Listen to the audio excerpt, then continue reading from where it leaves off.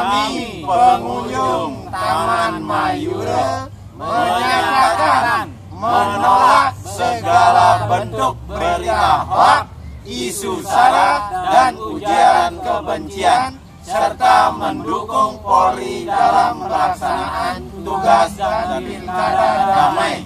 NKRI harap.